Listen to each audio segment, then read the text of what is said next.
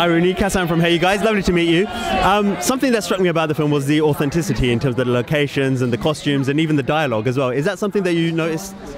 Yeah, certainly. Well, while I was there, I noticed it. But when I saw the film, uh, one of the things that struck me about it was that it really feels like it could have been made in the early 50s, you know, and that we could have just found it. It doesn't feel like a film made in 2013 about the 50s. It really felt authentic to the time and, and like it could have been made then. Mm-hmm. And uh, can I ask about working with Todd as well? A fantastic director who's made a number of films in that era as well.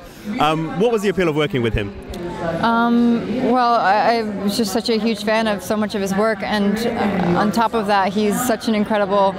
Um, he, he's he's made so many films about women, and he just he's uh, he clearly deeply understands and respects them and knows how to tell their stories. So um, I was very uh, grateful to be able to work with someone who, who's capable of doing that.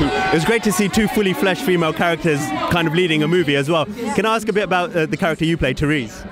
Therese, yeah, Therese is a young young girl who's sort of still finding out what kind of woman she wants to be, and um, she's not super satisfied or fulfilled in her life, but isn't really sure what more she wants. And then Carol comes along and sort of helps her come of age and figure out what kind of woman she wants to be. Mm-hmm. And finally, can I ask you about the Terrence Malick film that you've uh, made? Uh, when can we expect to see that, and what character do you play in that? Um, I'm not sure when it might come out. I don't really know, and you know, uh, I wouldn't want to say anything about the character I played because I'm not really sure what will be in the finished product. So I wouldn't want to misspeak about it. Excellent. Okay. Well, thank you. Thank Ladies and gentlemen, you're watching Hey You Guys!